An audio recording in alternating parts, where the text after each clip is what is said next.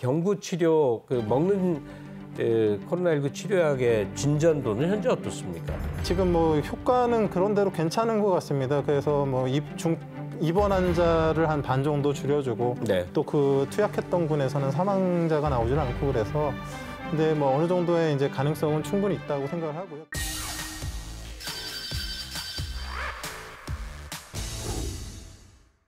정부가 with 코로나와 더불어서 전환될 수 있는 여러 가지 모습들 중에는 일단 아까 지금 얘기 속에 나오셨는데 재택 치료, 예, 격리센터 가지 말고 집에서 치료받는 것도 있고 경구 치료 그 먹는 예, 코로나19 치료약의 진전도는 현재 어떻습니까? 음, 지금 뭐 그 먹는 치료제가 상당히 이제 그 중요할 수가 있는 게 어찌 보면 이제 재택 치료를 하게 되면 그 완전한 격리 치료와는 달리 다른 사람들과 노출 가능성도 있고 가족들이 있으니까. 그렇죠. 가족들의 노출 가능성도 있고 또 본인 스스로도 좀 위험할 수도 있지 않습니까? 갑자기 증상이 악화됐을 때. 근데 그럴 때 좀 그 증상을 좀 그 경미하게 해주고 바이러스 배출 기간을 짧게 해주는 그런 약이 개발이 된다 그러면 훨씬 더 이제 통제가 용이해지게 됩니다. 근데 지금도 이미 이제 지금 미국에서 몰루피라비르라는 그 약이 이제 개발돼서 이제 그 머크사의 약 말씀하시는 네, 머크사의 거예요? 약이고요. 네네. 지금 그 긴급 사용 승인을 신청한 걸로 알고 있는데 지금 뭐 효과는 그런대로 괜찮은 것 같습니다. 그래서 뭐 입중 입원 환자를 한 반 정도 줄여주고 네. 또그 투약했던 군에서는 사망자가 나오질 않고 그래서 근데 뭐 어느 정도의 이제 가능성은 충분히 있다고 생각을 하고요. 그 외에도 우리나라에서도 사실은 이제 여러 약들이 아니 바로 그건데 좀 셀트리온이 셀트리온이 경구 치료제에 대한 얘기를 홍보를 꽤 많이 했는데 뭐 별로 진전되는 얘기가 없어서 현재 상황이 어떻습니까? 셀트리온 같은 경우는 이제 경구 치료제는 아니고요. 네네. 주사 치료제이기 때문에 아 주사였었구나.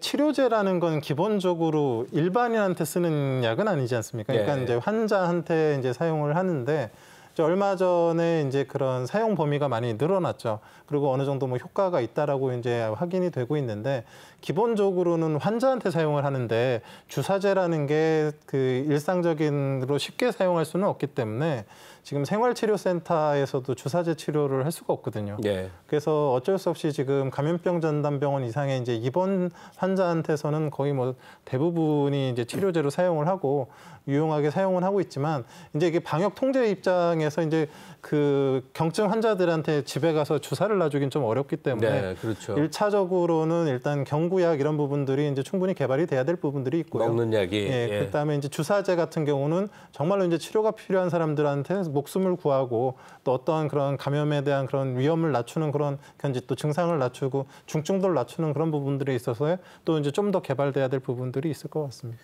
어쨌든 앞으로의 그 코로나19 전망은 백신 접종률 한 국민의 대다수가 이제 맞게 되고 그다음에 간편하게 이제 먹는 치료약도 사- 생겨나면 대체로 이제 해방된다고 봐야 되, 는 거겠죠. 현재로서는 그렇게 전망할 수 있는 거죠. 코로나19가 이제 변종이 계속 생기고는 있는데 변이가 네. 생기고는 있는데 보통 변이가 이제 진행이 되는 과정에서 전파력이 올라가는 경우는 많지만 치명률이 올라가진 잘 않습니다. 그러니까 그 이- 지금 델타 변이 같은 경우도 치명률이 현재 낮기 때문에 뭐 병은 어쩔 수 없이 살다 보면 걸리는 건데 그러고 지나가는 거라면 뭐 견딜 수 있는 거 아닌가 이런 생각이 들어서요. 그러니까 우리가 이제 목표로 삼고 있는 게 우리가 뭐 독감 때문에 일상생활에 크게 지장 안 받지 아, 않습니까? 그럼요. 그러니까 그런 식의 이제 어찌 보면 공존을 하더라도 가능하면 이제 가장 바라는 건 마스크까지 벗었으면 좋겠지만 그런 정도는 아직 아니더라도 마스크를 끼면서는 그냥 일상의 생활을 잘 할 수 있는 그런 정도까지는 어떻게든 목표를 해서 이제 이번 겨울에 이제 좀 진- 조심스럽게 진행을 해봐야 될 것 같습니다.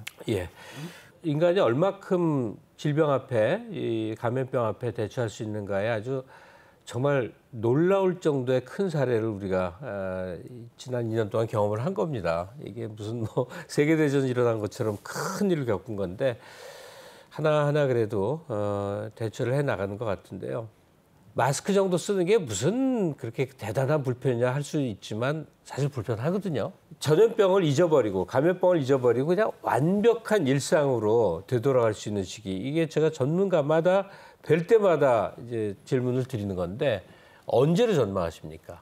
일단은 지금 이번 겨울 그 다음 해 봄까지 내년 봄까지 정도는 야외에서 마스크 착용이 뭐 야외에서는 벗을 수 있을 것 같습니다. 네, 그런데 네. 실내에서는 좀 어려울 것 같고요.